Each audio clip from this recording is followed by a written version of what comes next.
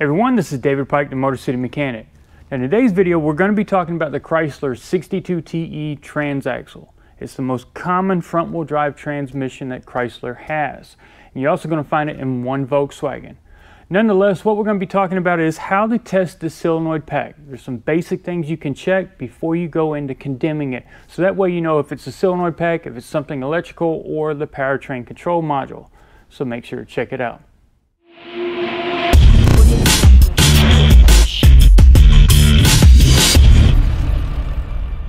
Now the 62 TE started showing up in the late 2000s. The first vehicle to get it was the minivans. Eventually it made its way into the other front wheel drive vehicles as well. Now there's other different transmission options out there, but again, this is the most common one that you're gonna see. Now electronically, we do have a few sensors external, and mainly those are vehicle speed sensors. And from history and from me working on them, I've never seen those ever fail. The problem we typically see if it's anything electrical has something to do with the transmission solenoid pack. Now it could be external wiring, it could be the powertrain control module, but again, the more common item for failing is that solenoid pack.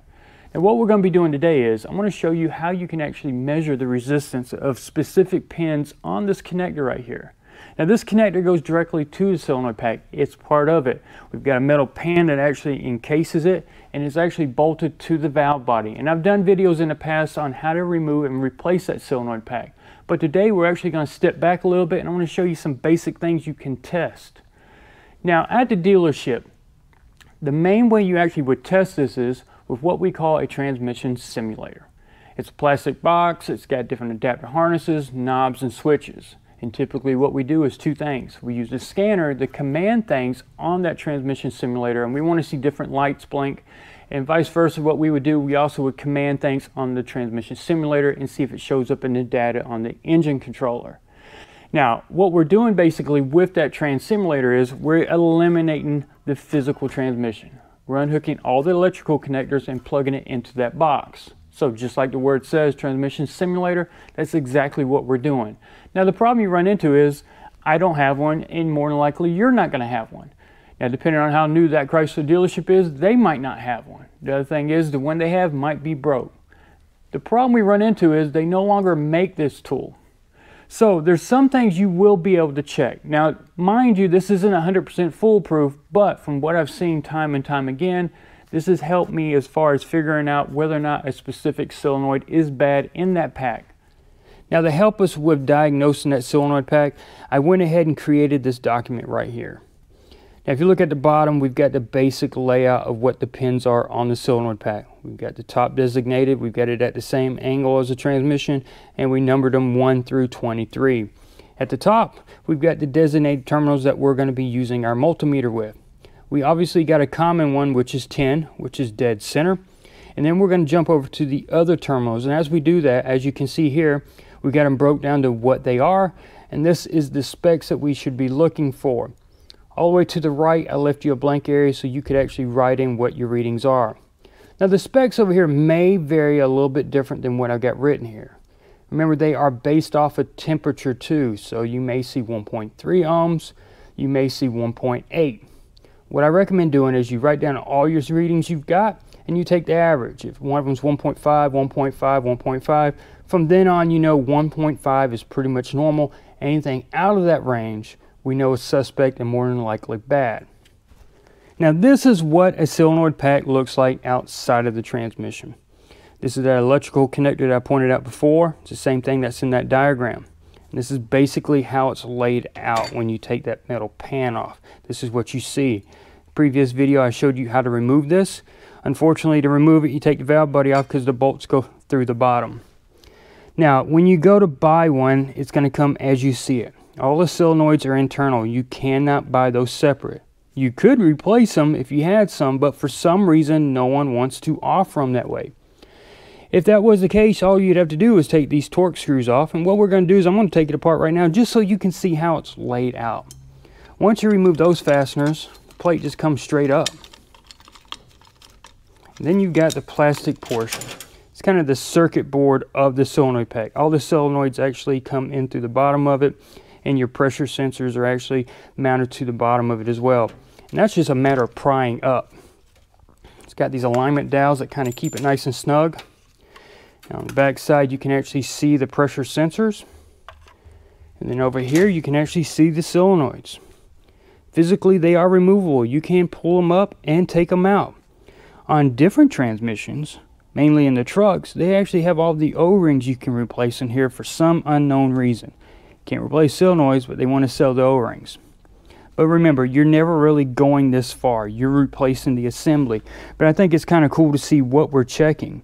In a perfect world, we'd be able to buy just a solenoid, replace that solenoid, O-rings, put everything back together. But unfortunately, as I said, you're getting it as one part. Now to test the solenoid pack, we're going to need two things. The first one being that document that I just showed you. If you scroll down in the description below, you'll see a Google Drive link. Click on that, print you out a few copies. The other thing is a multimeter. We're going to be checking resistance. It doesn't have to be anything expensive. A cheap one will work just as well as an expensive one. And you're going to be using more than likely the leads that come with it or I want to show you an option right here. And if you're a full-time mechanic, you're going to like this. I went almost 20 years without having one, and all I would do was stab wires, cut wires, shove paper clips into terminals and spread them and damage them. And I caused so many problems that this right here has saved me so many times since. This is a must-have for a technician. The average person won't have access to this and they're not going to probably spend the money, and I fully understand. But if you're a seasoned mechanic, spend the money on something. It doesn't have to be this brand. But here's what we got. We've got a kit that has different size terminals. We've got different leads that we can hook up to the multimeter. So that way we find something that fits that solenoid pack and we just slide it on, check the numbers, and move on to the next terminal. It stays in place, it doesn't fall. We don't have to sit there and hold these terminals like most people right here on this pick right here on the end of this lead. Instead, I can find the appropriate one, pull it off, hook it up to my lead, and slide it onto the terminal for the solenoid pack. Again, as a technician, this is kind of a must-have. I went, like I said, 20 years of just poking wires, cutting wires, stabbing things I didn't need to, damaging connectors. You need something like this. Average price is anywhere from 100 to $200, but it pays for itself.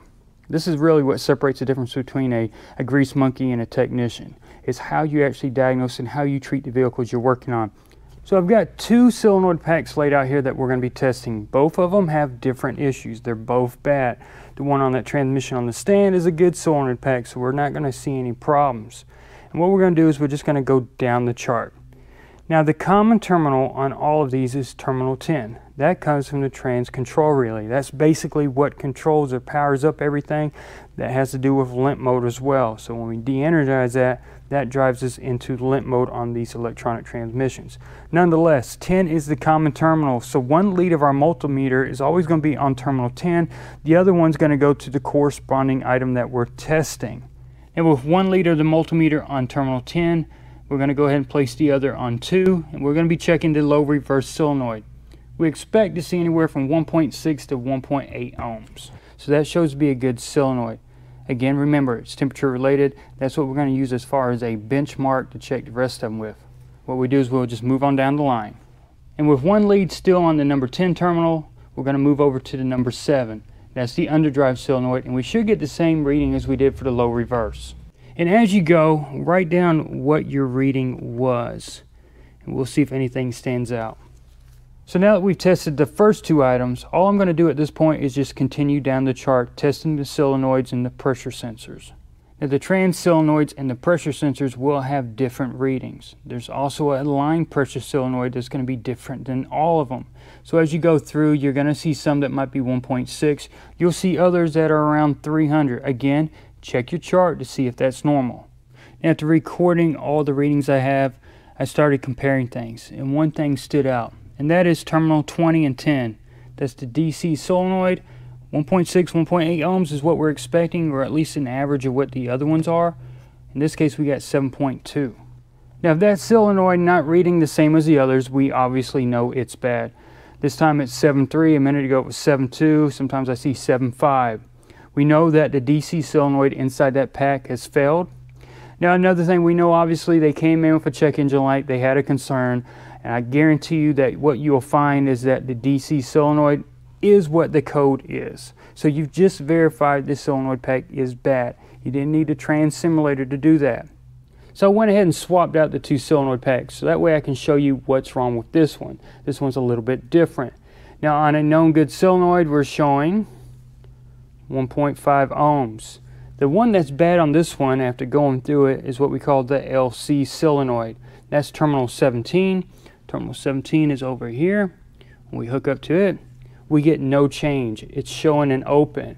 So we want to make sure our leads are still hooked up, everything's fine. We'll jump over to something else. Terminal 19 over here, we get our 1.6 ohms. So we've got an internal open.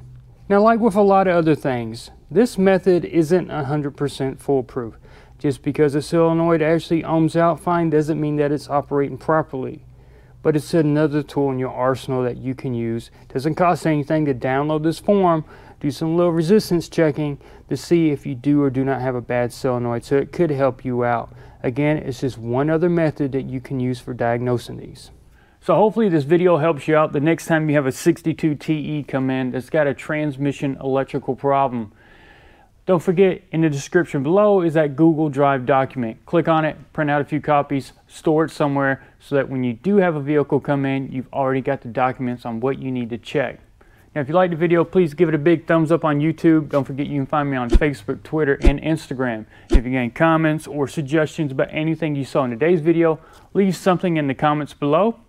Also, you can email me at david at motorcitymechanic.com. Last but not least, if you'd like to shop on Amazon, which everybody does, scroll down in that description. There is a link. Click on that link and make that your Amazon homepage. And anytime you buy something, you will be helping to support this channel. Once again, everybody, thanks for watching.